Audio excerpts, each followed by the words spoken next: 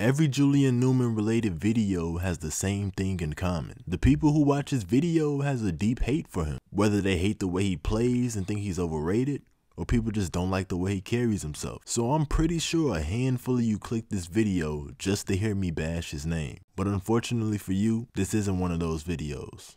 I'm sorry.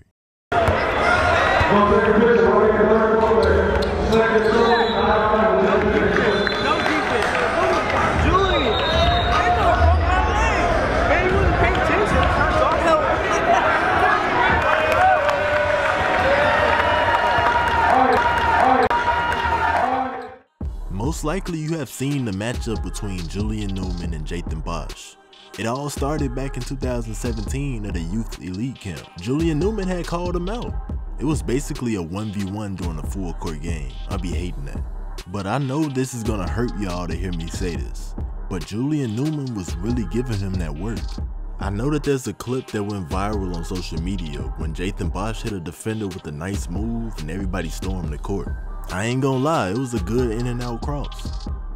But the story that was circulating was that he did this move on Julian Newman, but that was not the case. If you watch the full video, Julian Newman really won that matchup easily. But the thing I noticed about Jaythan Bosch is that he didn't back down from the challenge. He really held his own. And keep in mind that Jaythan Bosch is a couple years younger than him, I believe, so the fact that he's competing with players that are better than him showed how much potential he had at the time. And sure enough, he came back better than before. They ended up matching up against each other a year later, and you can just tell he made some improvements in his game. He was taller than he was before, and he was a little bit faster. Julian Newman didn't dominate him this time, but he still outplayed him. He was just knocking down more shots than him. And although Jaythan Bosch had better moves, it just wasn't falling for him that day. It happens. But it was obvious that he had gotten much better than before, and it's only up from there. They were able to get some footage of Jaythan Bosch hooping in 2020, and this dude seems like a completely different player. You can tell he really been putting them hours in the gym, cause it's showing in every aspect of his game. He just plays with so much more confidence than before. And if you add the fact that he's gotten taller and put on more muscle, you'll realize that this dude is becoming a problem for real. Even his jump shot seems like it gotten much better. With highlight tapes, we can never know how consistent someone really shoots. You would have to see him play in person or watch some full game highlights. But at the same time, you have to actually knock down shots in order for it to be on your mixtape, right? And there's a lot of highlights of him making shots, so it's safe to say that he is legit. And to add on to his reliable jump shot, he has actually became a good overall point guard. It seems like he has the pick and roll on lock.